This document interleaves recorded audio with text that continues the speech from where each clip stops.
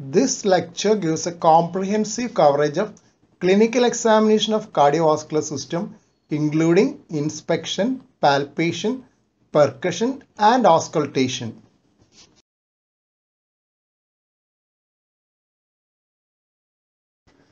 We'll start off with inspection of the precordium.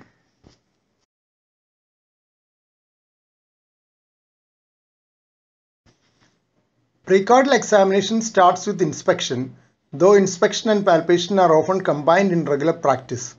Some of the features to look for are sternal deformities like pectus excavatum, which is a concavity of the sternum and is the commonest congenital malformation of the chest wall, which may be associated with congenital heart diseases like ventricular septal defect.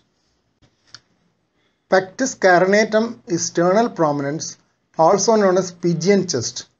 This can occur in congenital heart diseases with large left-right shunts in infancy. Second, visible pulsations. Suprasternal pulsations can be seen in aortic aneurysm and aortic regurgitation. A large dilated pulmonary artery can cause pulsations in the second left intercostal space. Left parasternal pulsations can be seen in right ventricular enlargement. Grossly enlarged left atrium with mitral regurgitation and dilated right ventricular outflow tract in Ebstein's anomaly are other rare causes of left parasternal pulsations. Right ventricular outflow tract pulsations in Ebstein's anomaly are often better seen than felt. It is a wavy pulsation. Similar right ventricular outflow tract pulsations may be seen in right ventricular endomyocardial fibrosis as well. Enlarged right ventricle can cause epigastric pulsations. Pulsations above the apical impulse are noted in left ventricular aneurysm. Submitral left ventricular aneurysm can also cause pulsations on the left cardiac border. Right parasternal pulsations may occur with grossly dilated aortic root. Third category is surgical scars. Midline sternotomy scar is probably the commonest in the adult and can be after coronary artery bypass grafting or valve replacements. Anterolateral thoracotomy scars are noted after a closed mitral valvotomy and some pericardial surgeries. Posterolateral thoracotomy scars are seen after surgeries on great vessels like closure of patent ductus arteriosus and repair of coarctation of aorta. Fourth category are the dilated veins. Dilated veins can occur with obstruction of superior or inferior vena cava. Direction of blood flow in the dilated veins will be downwards in superior vena cava obstruction and upwards in inferior vena cava obstruction. 5. Dilated arteries. Dilated intercostal arteries and anastomosis around the scapula may be visible in coarctation of aorta, but they are often better felt than seen. Apex beat is better characterized by palpation, though it is often visible.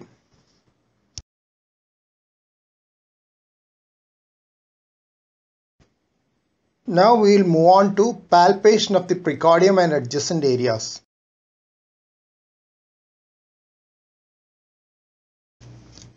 Palpation initially confirms the findings of inspection and further looks for new findings. 1. Apex beat.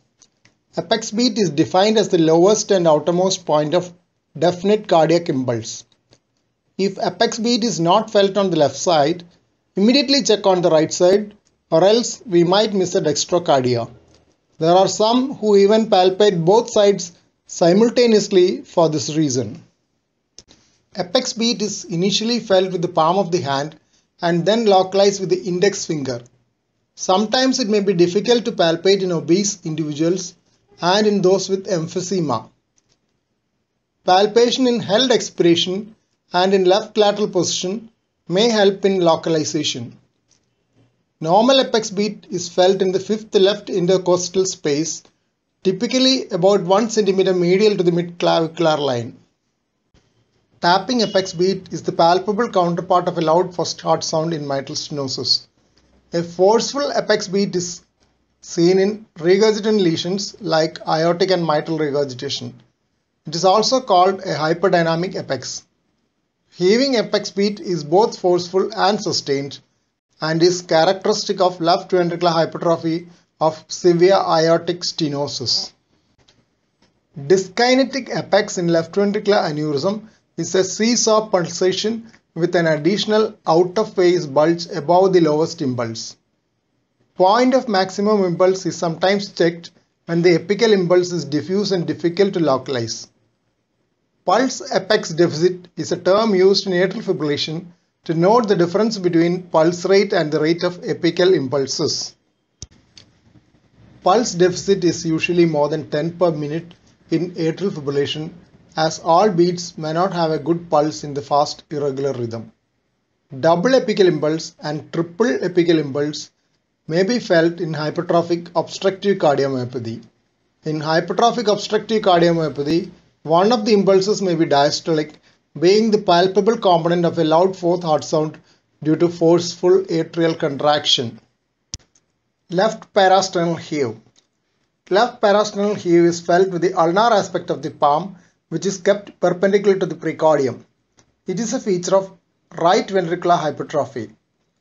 Hyperdynamic left precordial pulsations which are not so forceful can be noted in atrial septal defect with large left to right shunt even without severe pulmonary hypertension and right ventricular hypertrophy. Pulsations in second left intercostal space. Pulsations in second left intercostal space indicate large pulmonary artery and are better felt with the fingertips after flexing the proximal interphalangeal joints at right angle. Right parasternal pulsations may be noted if the aortic root is grossly dilated. Hepatic pulsations are better felt by bimanual palpation with one hand over the right hypochondrium and another over the back. Presystolic pulsations are noted in tricuspid stenosis and systolic pulsations in tricuspid regurgitation. Suzman sign is the visible or palpable collaterals in the upper back in coarctation of aorta. They are better seen on bending forwards. Thrills are the palpable counterparts of cardiac murmurs and generally associated with very loud murmurs grade 4 and above. Thrills are better appreciated with the ulnar aspect of the palm of the hand. Location and timing of the thrill depends on the cause. Thrills can be systolic, diastolic or continuous. They can be timed with respect to the carotid pulse just like murmurs. Thrill of aortic stenosis can be felt in the second right intercostal space or the left parasternal region. In pulmonary stenosis, it is present in the second left intercostal space. Both these are systolic thrills. Thrill of small ventricular septal defect, known as maladie de Roger, is systolic and noted in the left parasternal region. Systolic thrill of mitral regurgitation is felt at the apex. Diastolic thrill of mitral stenosis is highly localized to the apex. Diastolic thrill may occur in aortic regurgitation in the left parasternal region. Continuous thrill in the first and second space on the left side is noted in patent ductus arteriosus. Please don't forget to subscribe to this channel for future updates and click on the bell icon for all updates. Thank you.